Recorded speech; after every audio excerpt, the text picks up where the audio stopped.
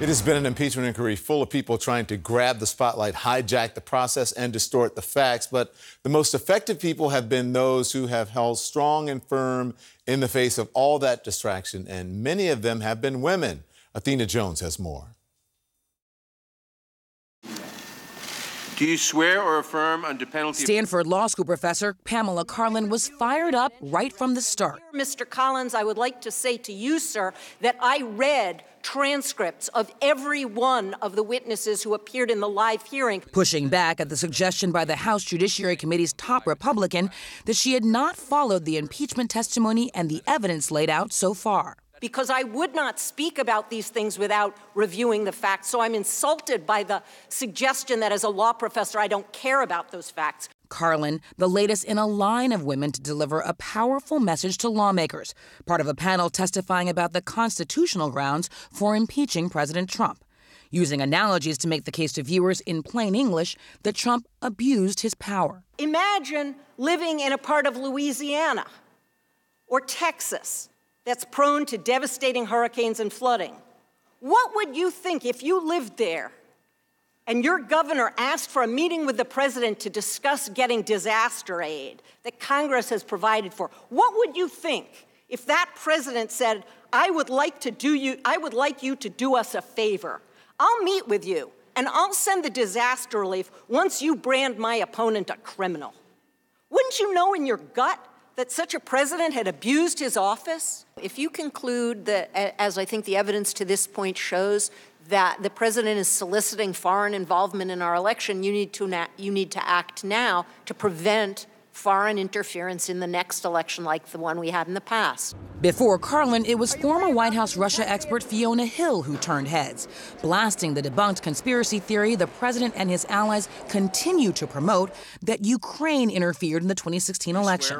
This is a fictional narrative that has been perpetrated and propagated by the Russian security services themselves. Hill testifying before the House Intelligence Committee on what she viewed as an irregular second channel of policy for Ukraine, led by U.S. Ambassador to the European Union, Gordon Sondland. He was being involved in a domestic political errand, and we were being involved in national security foreign policy and those two things had just diverged. And I did say to him, Ambassador Sondland, Gordon, I think this is all going to blow up, and here we are.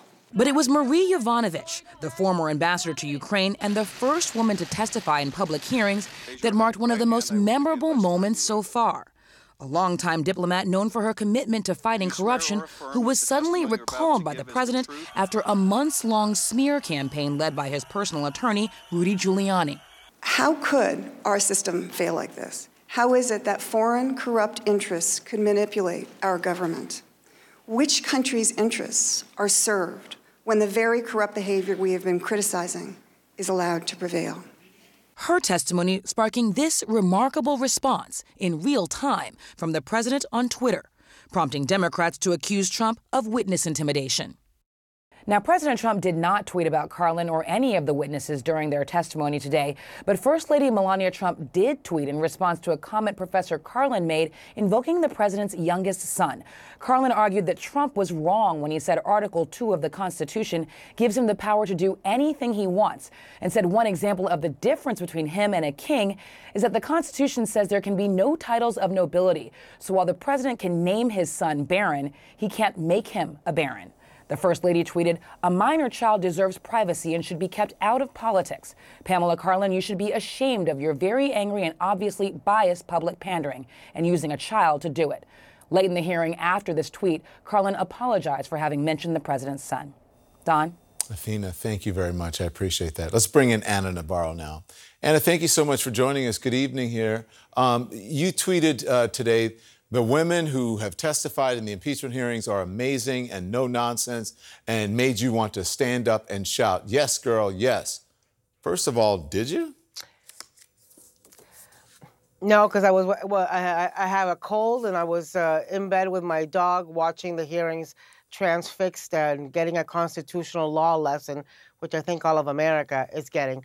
I, I was really responding to that um, that clip to that part in the hearing where Professor Karlan told Doug Collins, told Representative Doug Collins, that she had actually read the transcripts, which, you know, is a refreshing thing to hear because do you remember how many members of Congress told us after the Mueller report got released that they had not read it, that they had not had time to read it, and still so many of them haven't read it?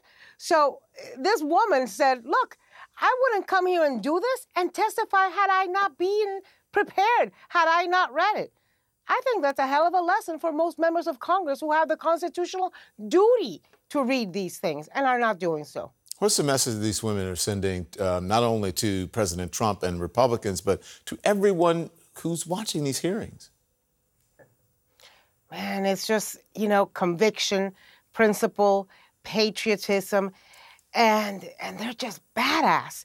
They don't get pushed around. They're not afraid to speak truth. They've been attacked. They've been attacked viciously. Um, the ambassador has, you know, was, is, has been the, the target of a conspiracy theory, which was promoted by people like Roger Stone. And yet they show up and they take it because they're there to defend the country and defend American interests. I think they're showing a badge of courage, profiles and courage. These women and I, you know, and I think they've done so much to advance the cause of equality. Mm. You know, seeing women as equals when it comes to the professional fields of diplomacy uh, and such. Yeah. I want to change topics now. Um, and, and, and, this is about Joe Biden, his new ad released about 30 minutes after President Trump returned from London. Let's watch it. World leaders caught on camera laughing about President Trump several world leaders mocking President Trump. They're laughing at him. My administration has accomplished more than almost any administration in the history of our country. Didn't expect that reaction, but that's okay. World leaders mocking and ridiculing him for being completely off balance. Allies are deeply worried about it. They say he's becoming increasingly isolated. Something is very wrong. The world sees Trump for what he is insincere, ill informed, corrupt, dangerously incompetent, and incapable, in my view, of world leadership. And if we give Donald Trump four more years, we'll have a great deal of difficulty, if ever, being able to recover America's standing in the world and our capacity to bring nations together.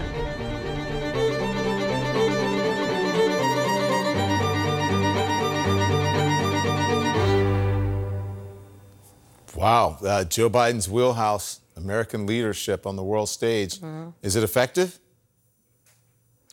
I think so. I think it's effective for several reasons. First of all, because as you say, this is his expertise. Let's remember he was chair of foreign relations and he feels very much at home talking foreign policy. Second of all, because instead of per, uh, playing a circular firing squad within the Democratic primary, he is aiming at the general election opponent. He is taking on Donald Trump. And look, part of the reason this has become such a big issue and we're still talking about it 24 hours later is because of Donald Trump's infantile, childish, kind of petty and stupid reaction. His ego got bruised, so boo hoo, he canceled the press conference and he threw his toys on the ground and left the game and left early. If he had just shrugged his shoulders and said, okay, so what? You know what? I yeah, I talk a little too long sometimes and I get carried away. it is what it is. If he had if he had poked fun at himself, if he had been a little self-deprecating and not given it great importance, we wouldn't be talking about it right now. We're talking about it right now because he's, you know, stormed off. Yeah.